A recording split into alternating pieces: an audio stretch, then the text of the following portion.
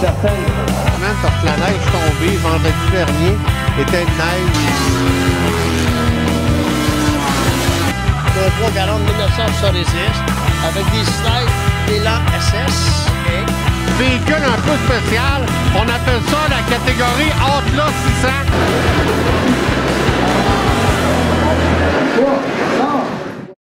Bonjour tout le monde. Bienvenue à Parlons Motoneige. Nous sommes au mois de février. On est. L'autre semaine, je vous disais qu'on était dans le milieu de l'hiver. Là, on commence à, à se rapprocher euh, vraiment tranquillement du mois de mars. Donc, euh, c'est aussi des très belles journées. hein. Le mois de février, c'est le mois, c'est le mois national de la motoneige. C'est vraiment des périodes où ce qui fait pas trop froid, on a de la neige, donc c'est le temps d'en profiter. Je salue tout le monde qui nous écoute dans les différentes télés communautaires. Évidemment, ici chez Cooptel à Valcourt, mais euh, Action TV en Estribos, Mégantic, CCAP TV Lac-Beauport, Zone TV, le Centre du Québec, TVLD La Malbaie et TCF sur l'île de Montréal. Bonjour tout le monde et aussi tous les gens qui nous écoutent par la, la voix de YouTube aussi, qui est très, très populaire. Je pense qu'il y en a plusieurs qui nous écoutent à ce moment-là. Donc, bienvenue à l'émission Parlons motoneige. Cette semaine, bien évidemment, on va aller avec nos chroniques euh, habituelles, sécurité, conditions de sentier. On va avoir, euh, on va avoir des reportages tournés au Grand Prix de Valcourt. hein. C'était le Grand Prix la semaine passée qui a été, en passant, un immense succès. On a battu des records d'assistance, la température étant idéale. On a aussi d'autres images de Mordu de l'hiver du musée euh, d'ingéniosité J.A. Bombardier. On avait regardé une partie du reportage la semaine dernière. On a encore des images à vous présenter là-dessus. Euh, Il y a des vox pop dans ça qu'on a fait euh, au, Grand Prix en fin de semaine. Euh, ça va être vraiment une émission remplie de reportages cette semaine. Pour ce qui est des conditions de sentier, ben, au moment où je vous parle, on est mardi, euh, au moment d'enregistrer. Les conditions sont encore très, très, très bonnes ici à Valcourt, dans la majorité des, des cantons de l'Est, la Montérégie, c'est encore très bon. On a eu un petit peu de doutant dimanche. On a eu un peu de pluie, mais c'est pas suffisant euh, pour vraiment avoir euh, détruit les sentiers. Les sentiers sont très beaux. On, finalise le surfaçage ce soir ici dans le, dans le coin de Valcourt. Par contre, là, on nous prévoit encore deux jours avec des 3 et des 5 degrés, mais très, très peu de pluie. Donc, euh, je pense bien qu'en fin de semaine, ça va être encore euh, assez bon ici. Euh, puis des fois, après un doutant, nous renvoie un 5-8 cm de neige, puis ça va être assez pour nous donner un petit peu de poudreuse. En tout cas, tant que cela va être possible, c'est sûr qu'on continue de surfacer, on garde le cap. On aimerait bien se rendre à la mi-mars ici. Donc, on imagine que c'est possible. Euh, lors du Grand Prix de Valcourt, euh, vous savez qu'on suit un peu euh, Mme Sabrina Blanchette et Mme euh, Mégane Brodeur, juste pour vous dire ce qui s'est passé avec Sabrina pendant le Grand Prix. Elle a eu, somme toute, un assez bon Grand Prix, ma- malgré des difficultés, dans le sens que vendredi matin, lors du début des, essais et tout, elle a reçu sa nouvelle motoneige de Champ 440. Nouvelle machine, nouveau châssis, tout est nouveau. Donc, euh, c'était comme compliqué un peu d'ajuster tout ça. Euh, Je lui ai parlé dimanche après-midi. Elle dit, on a à peu près 50 tours de piste de fait et ça va de mieux en mieux. Et ça paraissait vraiment dans les qualifications. Elle finissait beaucoup mieux là, dans, dans le quatrième une fois, là, j'ai vu terminer. Donc, c'est sûr que c'est beaucoup d'ajustements. Puis souvent, il y a des coureurs qui disent que ça prend deux, trois, quatre courses. Donc, je pense qu'au bout de trois jours de course, elle avait quand même beaucoup amélioré. Elle nous disait, ben, vous allez l'entendre dans l'entrevue, on a fait des ajustements. Des fois, c'était pire, des fois, c'était mieux. Fait que ceux qui c'était mieux, on les a gardés. Ceux qui c'était pire, on les a enlevés. Donc, c'est assez complexe, mais je pense qu'elle a quelque chose qui s'en vient très, très, très bien pour d'ici la fin de la saison. Il y a aussi Megan Brodeur qu'on a vu en entrevue la semaine passée. Elle a extrêmement bien fait ici à Valcourt. Elle a gagné, euh, elle a gagné sa course. Elle a fini première avec une bonne avance sur les autres coureuses. Fait que, euh, on va suivre Megan aussi. Je vais vous en parler à chaque semaine qu'il y aura des courses parce que elle va continuer son elle court toujours pour avoir son titre de championnat nord-américain, donc le reste de sa saison va se passer aux États-Unis. Fait qu'on va suivre ce qui se passe avec Megan et je vous tiens au courant. Donc, on regarde ensemble la capsule de sécurité de la Fédération des clubs de motoneigistes du Québec. On le sait, c'est important la sécurité. On a des décès d'incendie cette année. On vous demande d'être prudent, de suivre les limites de vitesse, puis de garder votre droite. Ça semble un petit peu, pour ceux qui ne sont pas motoneigistes, c'est quoi garder la droite? C'est normal. Oui, c'est normal, mais avec une motoneige, des fois, on est tenté de déborder un peu. On rentre dans l'entrée d'un virage. Euh, oh, on va faire aller un petit peu à gauche, mais sur celui qui s'en vient faire la même chose, ben les deux à gauche, ça marche pas. Fait que c'est pas juste des face-à-face. Cette année, il y a toutes sortes de types d'accidents, des dérapages, des frappages d'arbres, toutes sortes de choses. C'est déplorable et c'est presque toujours dû à la témérité des gens.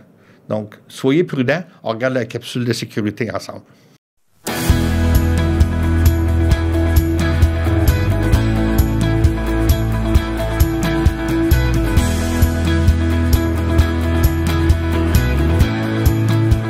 Quand on circule à motoneige, il y a plusieurs règles à respecter. Mais s'il y en avait une, Michael, qu'il faut absolument être vigilant, c'est garder la droite dans le sentier. Ouais, j'imagine que c'est pas toujours évident de savoir quelle est la zone dans laquelle il faut circuler. Exactement. étant donné que comparé à une route, on n'a pas de ligne jaune qui nous sépare la gauche de la droite, c'est important de partager le sentier. Et ça, bon, j'imagine qu'il y a des endroits qui sont plus à risque que d'autres et qu'il faut être vraiment vigilant sur la droite. Oui, absolument. Je vous donne un exemple. Dans une courbe, si on est à la droite du sentier, si vous rencontrez un autre motoneigiste qui s'en vient en sens inverse, au moins vous avez le temps de réagir. Ça protège aussi le sentier. Si on a tendance à rouler plus dans le centre, il se, fait comme une crevasse. Donc, euh, ça, ça use le sentier égal. Et on voit souvent des, des motoneigistes inexpérimentés qui, eux, ont tendance à circuler plus au centre. Ce serait quoi les astuces pour faire en sorte qu'ils puissent bien garder leur droite? Ce qu'on pourrait peut-être suggérer, c'est les gens qui n'ont pas beaucoup d'expérience, c'est soit aller avec quelqu'un, un motoneigiste plus expérimenté, ou bien il y a des guides aussi qui peuvent être disponibles. Et quand arrive le temps de dépasser en motoneige, c'est sûr qu'on quitte cette zone sécuritaire de la droite vers la gauche. Quelle serait la meilleure façon justement d'entamer un dépassement? Si vous avez à faire un dépassement, ce que je vous suggère, c'est faites-le quand vous êtes en ligne droite et vous avez amplement d'espace pour le faire. Donc, vous faites votre dépassement et donnez-vous assez de temps pour rentrer à la droite sans rentrer en collision avec le motoneigiste que vous venez de dépasser. Et j'imagine qu'il y en a des fois qui aimeraient beaucoup pouvoir justement essayer de dépasser par la droite hors sentier. Et ça, il y a des risques. Oui, absolument. Euh, on demande toujours de rester dans le sentier pour une raison. C'est qu'on ne sait pas sur le côté du sentier, quand on sort des balises, s'il y a une souche, une roche, on ne le sait pas. C'est un tapis blanc qu'on ne voit pas à travers. Si le sentier est balisé par un club qui entretient les sentiers. Restez dans les balises. si c'est pas balisé, c'est parce que le club a, jugé que c'était pas sécuritaire à ce moment-là. Puis rendu dans le sentier, soyez prudents, gardez votre droite, respectez les limites de vitesse, la signalisation. Il n'y a pas de raison que ça se termine pas par une belle journée. Donc c'est simple, gardez votre droite et circulez en toute sécurité.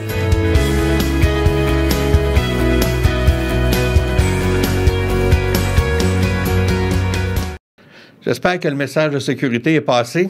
On va euh, continuer le reportage. On va regarder les images tournées lors du Grand Prix de Valcourt en fin de semaine. Vous allez voir qu'il faisait beau, il faisait presque chaud. On était peut-être à moins un. On n'était pas, personne, personne grelottait. Fait qu'on regarde les bouts de reportage euh, qu'on a tournés euh, lors de cet événement-là.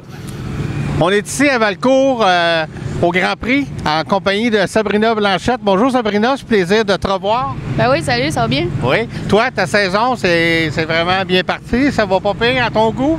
Ben, c'est sûr que Eagle River, ça a été super bien à Vintage. On a gagné deux championnats. Après ça, en Champ Eagle, ça a été un peu moins bien. Puis là, on est revenu ici à Valcourt. Puis euh, ça, va, ça va correct. Dans le fond, notre première machine. Euh, notre nouvelle machine, euh, elle vient d'être construite. On l'a essayé pour la première fois euh, vendredi matin. Fait qu'on a juste à peu près 40-50 euh, tours de fait dessus. Fait qu'on essaie de plus en plus l'ajuster, puis on espère pour le mieux. comme tu le disais, tu avais une nouvelle machine que tu as mise à la track vendredi, tu as une cinquantaine de tours. Est-ce que vous réussissez maintenant à trouver des ajustements de mieux en mieux à chaque fois? Bien, c'est sûr que des fois, on fait des choses, puis c'est pire. Fait là, on en revient à ce qu'on était, puis on essaie d'y aller dans, le bon sens, dans le fond. Mais, euh, ouais, ça va de mieux en mieux, je dirais. C'est une nouvelle machine, il n'y a personne qui chauffe ici avec ça. Euh, je suis comme le cobaye de tout ça. Fait que c'est sûr que c'est pas vraiment la place ici que je voulais l'essayer en partant. À Valcourt, mais euh, on n'a pas vraiment le choix, puis c'est là qu'on l'a eu, fait qu'on on essaie de faire des tests avec, puis on espère pour le mieux. Là. En tout cas, je t'ai vu tourner tantôt. là. T'étais quand même euh, pas pire en qualif. là. T'étais avec, avec le peloton de tête. Ben, c'est ça, j'essaie au moins de rester dans le game. Je sais que je serai pas euh, en avant, mais euh, peut-être l'année prochaine, là, mais que la machine soit plus à la coche, ça va aller beaucoup mieux. Bon, ben parfait. Fait que te souhaite un bon fin de week-end, puis amuse-toi bien, c'est ça qui est important. Ah oui, c'est sûr, merci. On va continuer à te suivre. Parfait. Bye, merci. Bon, ici au Grand Prix de Valcourt, euh, oui, c'est des compétitions de motoneige, mais il y a toutes sortes de catégories. Il y a des motos, motos sur glace, euh, motos euh, snowbike, mais il y a aussi des courses de VTT. Je suis en compagnie de M. Nicolas Prévost. Bonjour. Bonjour, Tu viens de quel coin? Saint-Isidore, ça arrive sud de Montréal. Ça arrive ça de Montréal. Puis, bon, je vois ici, tu as un VTT quand même passablement modifié pour la glace. Euh, vous avez un bon circuit au Québec de VTT de glace?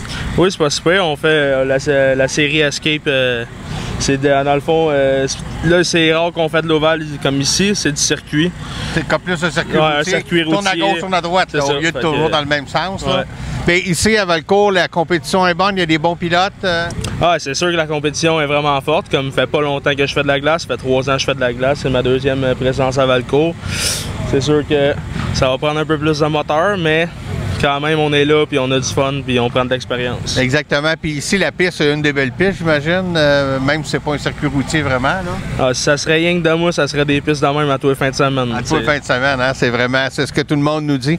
Euh, ta machine, c'est une, euh, une Honda, Ouais, c'est un TRX euh, 450, un 2013 Honda. mais avec un petit peu de modification. Ouais, on, Ah, a, on y- a travaillé dans le moteur un peu. Là. J'imagine aller chercher un peu d'HP. Ouais. Puis euh, au niveau du classement, au niveau provincial, ça va bien, toi, ou tu... Ben là, à la date, c'est pas trop fou, là, mais ça, on devrait s'améliorer euh, par la suite. Là. Bon, on se souhaite euh, bon succès, puis surtout beaucoup de plaisir. Merci C'est beaucoup. ça qui est important. Merci. Je suis en compagnie de Tommy Bourrin, un pilote de moto sur glace. Bonjour, Tommy. Bonjour, ça va bien? Oui, tu viens de quelle région? Je viens de Terrebonne. De Terrebonne. Euh, J'imagine que tu dois suivre le, le circuit de moto sur glace au Québec. Là. Tu fais pas juste Valcourt. Ouais, je fais, je, je fais rien que Valco aujourd'hui. Tu fais un Valcourt, OK. Ouais, je fais rien que l'Oval sur Valco. Puis ça a bien été? Ouais, pas si pire. On aimerait que ça aille mieux, mais euh, ça a été pas si. C'est quand même des motos euh, très spécialisées, là, des modifications Ah pour la glace. vraiment euh, spécialisé. On a avec- les racks, on a le- l'angle de fourche et tout qui est changé. On a le neck ici. OK, OK. On a notre angle de fourche. OK, pour être plus euh, vertical un Ouais, peu. pour changer l'angle de fourche pour plus que ça traque. Dans le temps, ça paraissait plus avec les anciennes pins. Aujourd'hui, c'est moins. euh, c'est pas moins bon, mais ça paraît moins, mettons. C'est pas que vraiment besoin. Vous avez vraiment amélioré les. Oh, on a les- amélioré les pins. Avant, on roulait avec des Holiday. OK. Ensuite, on roule avec ça, c'est du Splash and Dirt euh, 5.5. Il y a combien de, de clous après un pneu à peu près? Ah, a au moins euh, 350 à 500. Ça dépend. Par pneu? Ouais. Ça dépend comment tu. Ouais, tu on a un autre pneu à l'intérieur euh, qui est euh, un pneu de route qui est euh, shavé, comme on appelle. OK, pour protéger. Non, euh, un pneu à l'intérieur pour que ça soit plus solide, le, le crampon soit plus solide euh, dans le pneu. Ah, OK, OK, OK. Il y a un deuxième pneu à l'intérieur fait par euh, un monsieur qui fait des pneus depuis des années, euh, Charlie Beatty. OK. Fait que comme ça, ton pneu est plus rigide, c'est Ouais, ça? exactement. Donc, il y a une meilleure pression au sol. Clou, si t'aurais un clou juste dans, dans le caoutchouc, ça serait pas rigide. Comme ça, on a des toiles de pneus à l'intérieur, on a un deuxième pneu à l'intérieur. Ah, OK, ben c'est intéressant de savoir. Puis, euh, en tout cas, moi, te souhaiter beaucoup de plaisir à Merci Valco, beaucoup. c'est ça qui compte. Merci beaucoup. Merci beaucoup. I am, uh, je suis avec Blake. Hi, Blake. How are you? Good, you? Yeah, very good. Nice weekend here in Valcourt. Yep, been a good weekend. Yeah, you have a good, Yeah, not Yeah. too bad. you made f- few podium or not yet? Not on the podium yet, but we're hoping to have a good day today. And Okay. You you come from where? Uh, Ontario. So, Ontario. Yeah. Okay, you you follow the Ontario circuit regularly, the CSR, CSRA. CSR. Okay, and you have fun today. Yeah, it's been a fun day. Good track. Good weekend. You, so- you like the track? yeah, it's a lot of fun. Yeah, you have a lot of spectators too. The crowd is big. The crowd's big. The competitors are tough. So Yeah. yeah, it's been a fun weekend. Okay, thank you for your time and have fun. Thank you. Bonjour. Bonjour, euh, je suis avec Jean-Sébastien côté. Ça va bien? Ça va bien, merci. Oui, tu viens de faire une qualif, là? Ouais, une qualif, ouais, en pro, euh, la deuxième qualif de pro, ouais. Ça a bien été? Pas pire. La, la visibilité est pas super aujourd'hui à cause de la, de la pluie là, qui s'en vient, là. Fait que, euh, voit Ouais. blanc sur blanc, là. C'est le choix de lunettes qui décide si ça va bien ou non, là. Ah ouais, c'est tant que ça, là. Oh, ouais, là, ça Parce que ça, des fois, les gens vous demandez peut-être pourquoi qu'on on va voir un peu de foin sur le, sur le dessus des buts. C'est vraiment pour que vous puissiez reconnaître la... la- Exactement, c'est pour, que- c'est pour me remettre dans le fond de voir la- les dénivelés de la, de la piste. Parce que comme tout est blanc à un moment Ouais, donné, pour aujourd'hui, on est brumeux un peu, Ouais, fait que c'est pas évident. Exactement. Fait qu'il te reste à- une course à Il faire reste ou deux? la course de la dernière chance. La course en dernière Ouais, chance, OK. les cinq premiers pour le final. Fait que t'as passé un bon week-end, t'as Oui, eu du super, plaisir? ouais. Oui, oui, oui. Ben, je te souhaite une belle fête de saison. Merci Jean-Sébastien. Bye. En compagnie de Danick Lambert. Bonjour Danick. Bonjour, ça va bien? Oui, toi? Moi aussi, euh, t'es de quelle région? Je suis sur la Dracie. Sorel-Tracy, OK. Puis là, tu courses euh, sur Oval, sur glace, en quelle catégorie? Je course en semi-pro 500, en pro Formula 500, puis en semi-pro champ avec une autre équipe. Avec une autre équipe, OK. Ouais. Puis euh, ça a bien été, ça va le cours à date? Euh, vendredi, j'ai gagné ma finale en semi-pro champ, on était bien heureux. En- avec mon 500, j'ai quelques petites difficultés, on est en train d'en venir à bout. là. on fait des 4e, 5e, on espère être sur le podium ce soir. Mais euh, j'ai frappé les balles de foin tantôt avec mon semi-pro champ en qualif. Ouais. Il est pas, il est pas, il est pas trop croche? Non, non, mon dos l'a un petit peu, mais pas ma machine. Ah ouais, ça c'est important, c'est le plus important. J'aurais dû demander ça en premier. Mais euh, pour ça, ta saison va bien? Ah, la saison va très bien. On revient d'un voyage d'un mois au Wisconsin. En un mois, la pire position, c'est troisième. On pourrait pas demander de mieux. On est champion du monde Eagle River en semi-pro champ. Fait que, Ah ben félicitations. Vraiment, merci. on est fiers de toi. Puis bonne fin de saison. un gros merci. Merci.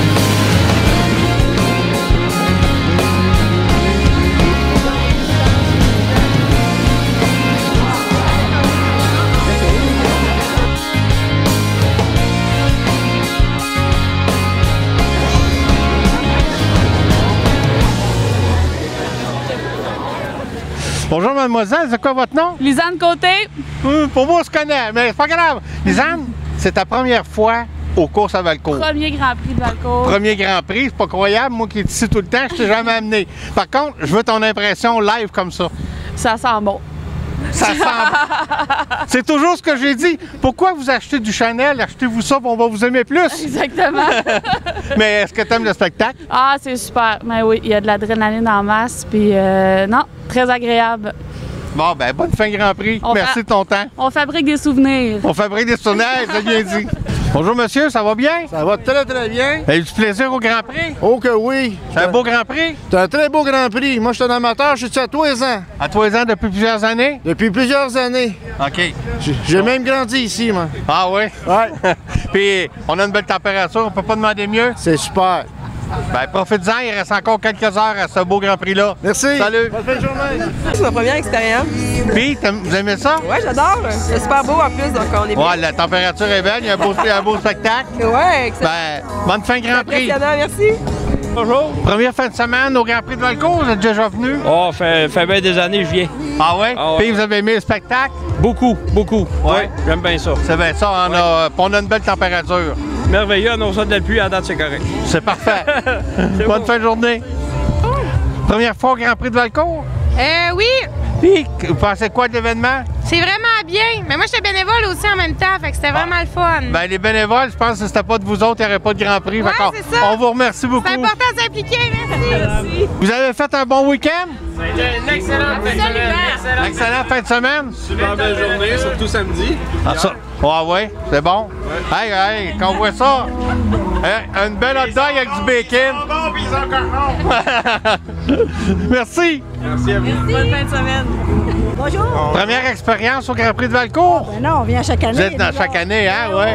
on Puis, vous avez aimé ça? Ah oui, bon spectacle. Température. Ouais, température. Et en plus, cette année, on va avoir une finale. Ben oui, l'année passée, on l'a Ben pas oui. eu, c'est C'est ça. ça. C'est Bon. bien le fun, un bel Ben, événement. Ben merci. On est chanceux. Bon, j'es- j'espère que ces images-là vous ont fait regretter de ne pas être venu au Grand Prix. hein? C'est toujours un peu... euh, Mais ça nous fait plaisir aussi de vous montrer l'ambiance et de vous dire la- à l'année prochaine pour ceux qui n'ont pas eu la chance de venir cette année. Maintenant, on va regarder euh, dans le cadre de Mordu de l'hiver le, reportage, mais on va commencer avec une motoneige un petit peu particulière. Une motoneige et Skidoo Elite, produit en 2004. C'est une motoneige qui a été faite en très, très, très petite série. C'est une motoneige où on est assis côte à côte, un à côté de l'autre. Par contre, ce n'est pas plus large, ce n'est pas plus gros qu'une motoneige normale. Ça respecte le fameux 48 pouces réglementaire de largeur. Par contre, il y a deux chenilles, donc la motoneige, elle a 48 pouces. D'en avant en arrière, c'est la même chose. Il une motoneige normale, elle est large en avant et c'est très étroit à l'arrière, mais dans ce, cas-là, la largeur est toute la longueur du véhicule. Le moteur est aussi situé à l'arrière, ce qui n'est pas commun à une motoneige. Donc, euh, c'est un le moteur qui a été choisi à l'époque, c'est un moteur 3 cylindres, 4 temps, 1,5 litres, développant aux alentours de 155 HP. Donc, c'est sûr que la motoneige est lourde, mais euh, il y a la puissance suffisamment là, pour qu'elle se déplace à une vitesse là, euh, bien, bien convenable dans les sentiers et même un peu plus. Euh, c'est un petit peu spécial à conduire. Euh, je vous dis qu'il faut s'habituer. C'est pas la même chose. Il y a moins de poids sur les skis, plus de poids à l'arrière. Donc, quand on arrive dans les virages, il faut vraiment euh, lâcher l'accélérateur, que le poids se transfère sur les skis. Mais un coup qu'on a eu toute cette twist-là, ça va très, très bien. Aujourd'hui, c'est quasiment une pièce de collection parce que je regarde sur les sites américains la valeur de ce véhicule-là euh, étant presque en progression. Évidemment, c'est un véhicule qui se vendait à l'époque 25 000 Aujourd'hui, sur les sites américains, on en voit 12, 15, 18 000 Donc, euh, si on compare euh, une motoneige 2004, euh, on parle pas de ça. On parle de 10% de la valeur originale. Dans ce cas-là, on n'est pas là. Et la tendance est une, légère remontée. Donc, c'est un signe que le véhicule, les collectionneurs sont, euh, sont autour et ils pensent vraiment que ce véhicule-là va prendre beaucoup de valeur avec le temps. C'est le temps qui nous le dira. Je vous laisse la regarder. Elle est vraiment spéciale. Et on continue aussi avec d'autres images de Mordu d'hiver d'il y a deux semaines.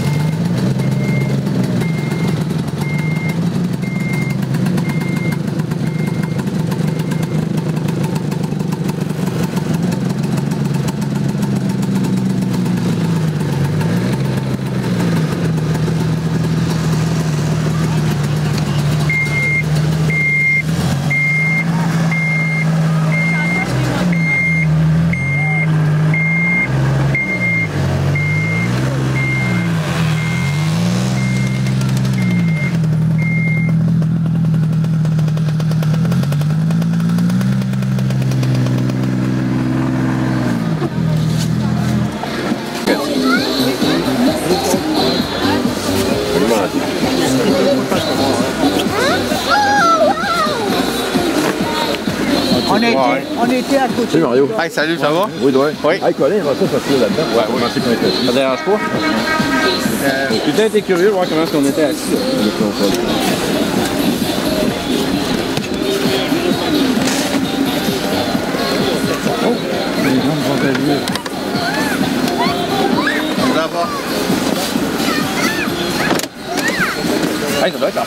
Je mets un side-by-side. Ben oui.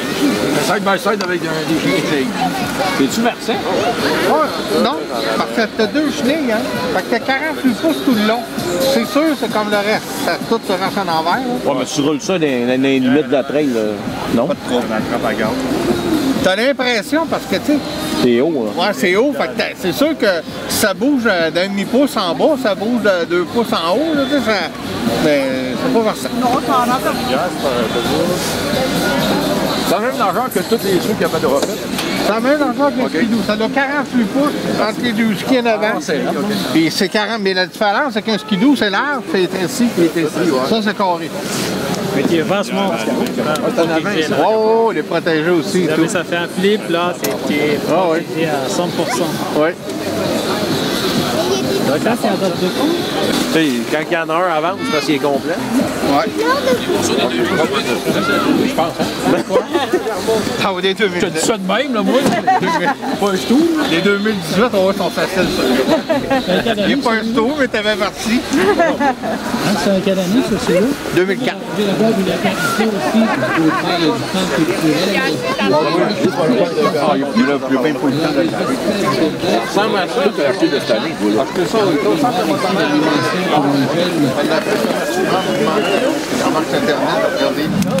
C'est ça, Zach.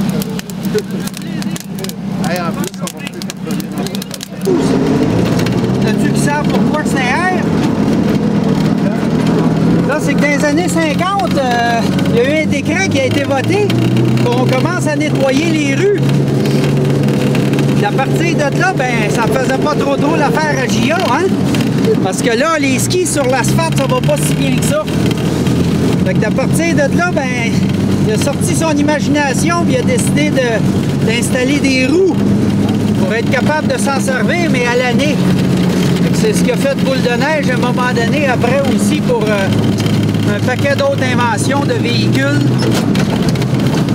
C'est la raison pourquoi c'est un R. Le B, lui, le B12, c'est pour B pour bombardier, R pour les roues, le 12, c'est pour 12 passagers.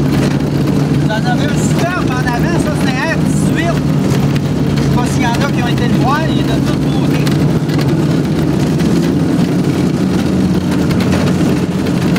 Là, c'est un 1957, ce beau petit véhicule-là.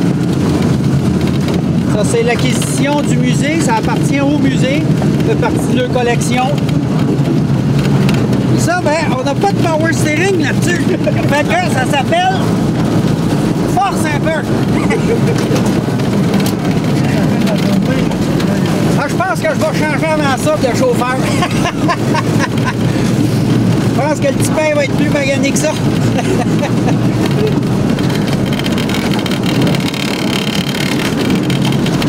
Que ça brasse un peu, mais au moins ça permettait dans le temps de nous amener quand même un peu partout. Initialement, ça a été pensé pour les médecins, ça a été pensé pour les écoliers aussi. Hein?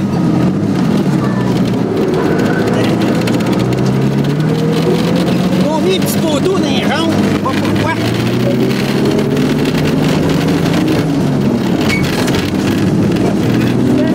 Trois vitesses. Ouais, c'est un véhicule qui peut se rendre à peu près à 66 km/h environ. Le R, c'est un véhicule qui a été euh, commencé dans les années à peu près ça, 50, 52 là, environ. Et puis, ils en ont fait quand même jusqu'en euh, 81, ce véhicule-là. Il y en a beaucoup dans l'Ouest, eux autres utilisent ça encore. C'est pas un véhicule qui est, euh, encore, euh, fonctionnel. Hein, faire gérer votre déjeuner de matin.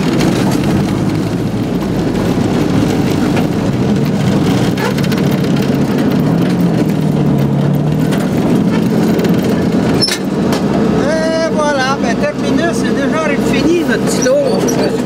En J'espère que l'émission vous a plu. On a eu de- beaucoup de choses variées cette semaine. Moi, ce que je vous dis, c'est profiter de ce, ce beau week-end qui nous annonce. On nous annonce pas trop froid. Faites de la motoneige, soyez prudents et au plaisir de vous rencontrer dans les sentiers. Je vous dis à la semaine prochaine pour une autre émission Parlons motoneige.